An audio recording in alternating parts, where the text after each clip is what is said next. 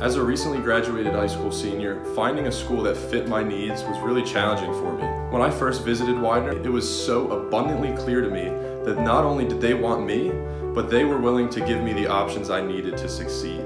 I chose Widener because I was looking for a college that would help me grow academically and also in my social life. Widener's nursing school really stood out to me because of how much the faculty cares about helping their students succeed. College is an expensive investment and I know money is a deciding factor for a lot of people and where they go. Widener gives out a lot of scholarships and financial aid to make going here possible for students. So you can rely on faculty, other students, and you can rely on almost anyone here at this university to help you as much as possible.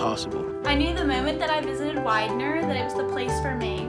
Everyone was super welcoming and there was an all-around positive atmosphere that I knew I wanted to be a part of.